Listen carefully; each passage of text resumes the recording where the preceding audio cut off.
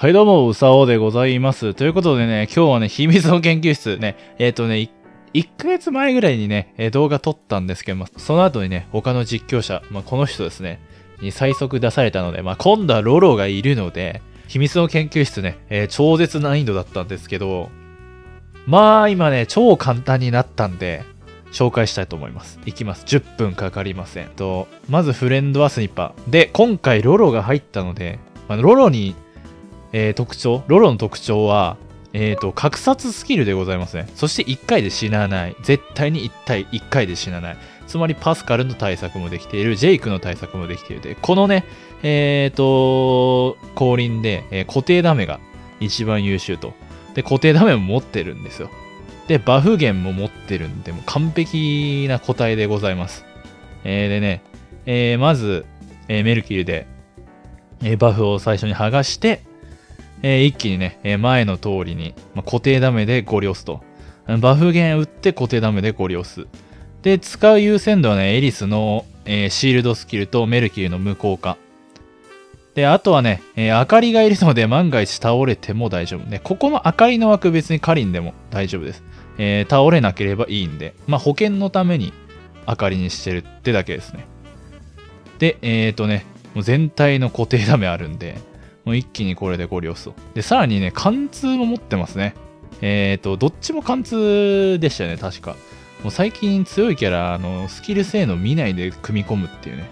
えーどっちも貫通なんで、このカルマのね、えバフ剥がしたら、えーすぐ攻撃できる。なので、これ3分かかんないです。えーカルマを倒す。あ、まあ、ギリ3分だったかな。だからカルマは3分経つと即死攻撃飛んでくるんですけど、まあ、それの前に倒せるようになりました。そしてさらにね、えーロロはね、回復量減少を持ってます。えー敵のね、えーアシュラのね、回復ループが厄介ですが、回復量が下がるので、まあ、もはやロロゲーと、ここが。で、ここのね、降臨がなぜかタイムスコア戦とかしてますけどね。まあ、そこはちょっと置いといて、まあ、固定ダメのバフ源を多めに攻めると。で、えーバフ源使い終わったら今度カールのね、えー短縮使って、またバフ源が打てるようにする。で、カルマがちょっとね、何ターン免疫かわからないんですけど、結構長いダメージ免疫、無効化、すべてを無効化するダメージ免疫持ってるので、まあ、素早くバフ源で剥がすと。まあ、それか、周りのキャラいなくなったら剥げるのかなちょっとわかんないですけど、とりあえずバフ源固定ダメで、えーご利用して、えーカルマのバフ剥がすと。で、カルマのね、えーバフ剥げたら、今度貫通スキルのみしか食らわないので、まあ、ロロとかエリスの、まあ、固定ダメで攻めてあげればいいですね。こういう風に。貫通は食らいます。で、ロロどっちも貫通。さらに回復量減少。素晴らしい。まさにタイムスコア向きだ。そしてね、この格殺スキル必ずジェイクに飛ぶんですよね。前衛にジェイクいるんで、防御力の高いキャラに、えー格殺を適用するっていうスキルなんで、開幕でね、バフを剥がしながら、えっ、と、ジェイクをね、即殺できるんですね。最終ステージで。さあ、固定ダメ、貫通の火力の高い方で、えーカルマを葬り去る。葬りされない。ちょっと貫通のスキルでね、えーとどめ刺しに行きましょう。まあ、その前にちょっと HP 回復しといて。まあ、回復キャラ1体いればいいんで。まあ、ほら、3分経って、この後即死攻撃。まあ、3分5秒から即死なんか形態に入るんですけど、カルマが。まあ、それの前に倒せると。えーそして、えーここ第2ステージはパスカル。うん、パスカルでね、一発で持ってかれるキャラ1体もいないんで、このままご利用し。で、パスからね、最初の方に必ずスキル打ってくるんですが、まあ、えー免疫と蘇生。で、ロロは倒れないんで、一発で。90%カットなんで。で、メルキルも40%に抑えるってやつ持ってるんで、まあ、パスカルが全く怖くないですね、ここ。ここ一番簡単。固定スキル打ってれば倒れる。で、万が一パスカルがね、まあ、ハゲちゃったカールヘロンとかに当たった場合、免疫がハゲている。その時は、えっ、と、は、はよんじゃないわ。明かりで、えー上で蘇生すればいいと。上スキルでね。まあ、適当になんかパスカル来そうだから、とりあえず無効化打ったみたいな感じですね、これは。で、風神剣だったっていうね。まあ本当に楽ですよ。これ見てる限り何も考えずに固定ダメを打っているだけですからね、基本的に。で、この時点で4分。バリ速い。平和の舞。で、これでもジェイク、あー、ジェイク行かなかったけど、後ろ、あ、ジェイク行った。でももう3体。次固定ダメ打てば倒れますからね、これ。さあ、固定ダメ、いけ。で、えー、次がね、えー、バフ源を使ってから、えー、後ろ3体を倒して、えっ、と、速殺スキル、えスニッパーの速殺を使うってだ、え手順だったんですけど、まあ、このロロの上スキルがバフ源持ってて格殺、しかも防御力の高いキャラをっていう性能なんで、必ずもう開幕に打てば、え、ジェイクが落ちます。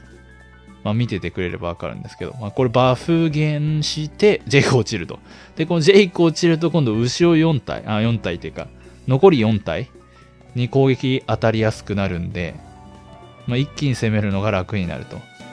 で、まあ、ここからエリスをさっさと落として反射で、で、スニッパーを早めに召喚すれば、まあ、タイムスコア戦を制することができるんで、ちょ、頑張ってエリスの自滅を狙っていくって感じですね。まあ、どちらにせよ、あの、スニッパー出せないと、降臨クリアすることできないんで、まあ、早めにエリスかなんか、一番、まあ、体力の低いキャラで落とせそうなキャラをちょっと回復は使わないで、え、調整するって感じですね。まあ一番エリスが敵なんですよ。あの、火力高くて反射で勝手に倒れてくれるんで。これちょっとミスですね。向こうか張ると倒れにくくなっちゃう。こうタイムロスがちょっとあるかもしれん。まあ、とりあえず、ここも固定ダメでゴリ押すだけ。まあ、もはや解説がいらない状態。さあ、いけ。パシャン。一応吸血つけてるんですよね。結構いい感じですよ。あ結局敏、敏症にしてるんですけど。まあ、エリスをね、弱点にした方が勝率やっぱ上がりますね。いやー、いけ、結局エリス弱点にしちゃったからね、それで。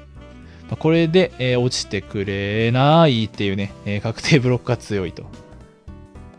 落ちてくれ。落ちないね。ちょっとリンの攻撃を利用しないと落ちにくくなっちゃうんで、ちょっとリン頑張って落としに来て。やばいよ、これタイムロスなんだよな。これめっちゃタイムロスだぞ。あ、この反射で落ちる。で、反射で落ちたらスニッパーのスキルを素早く2つ使って、えー、ハイドシュートで終わり。で、この時点で7分。めっちゃ早い。前これ40分とかかかってる降臨じゃなかったでしたっけっていうレベルですからね。まあ、カルマの時期ですけど、カルマ全盛期の時期。